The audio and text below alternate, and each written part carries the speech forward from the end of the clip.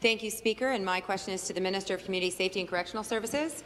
Earlier this week, I asked the Minister to address the crisis in corrections and provide mental health supports for those who need it. And the Minister replied, quote, those supports are in place in all of our institutions, end quote. Well, Speaker, those supports don't exist in every institution. Central East Correctional Centre in Lindsay has an infirmary that has been converted to dorms for female inmates. And they used to have an unofficial health unit, but it got closed. How many infirmaries have never been opened, and how many mental health programs have been cut by this ministry? Thank you. Thank you, Speaker. And please take the question again. I want to thank all of the folks that work in our correctional division for the work that they do. What I can say with respect to mental health nurses, for example, Speaker, was we've hired 36 additional mental health nurses in our correctional uh, division. That's up from 13 to 49 now since 2013 alone.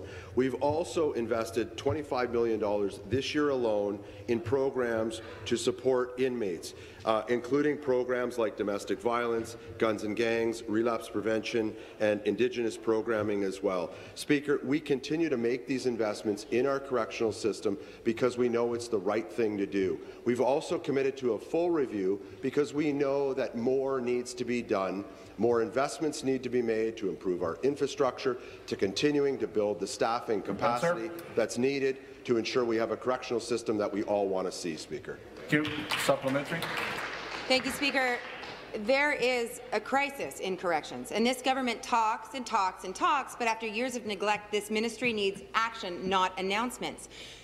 You avoided a strike by promising yet unseen legislation, are installing body scanners without policies or staffing, and you've made changes to disciplinary segregation, but nothing for the majority indefinitely held without mental health supports.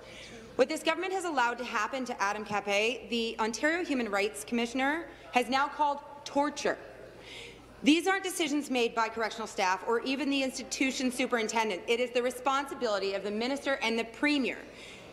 Is neglect and torture acceptable to the minister and this premier? Minister. Speaker, what a ridiculous question. Of course it's not.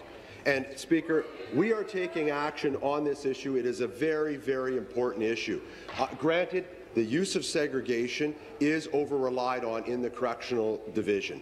And the challenge that we have is physical infrastructure and space, and obviously the conditions that an individual is in while in segregation, which we continue to work to improve. But let me remind the member opposite that the Human Rights Commissioner, in fact, today said, and I quote, I accept this was not an individual who could have remained in the general population.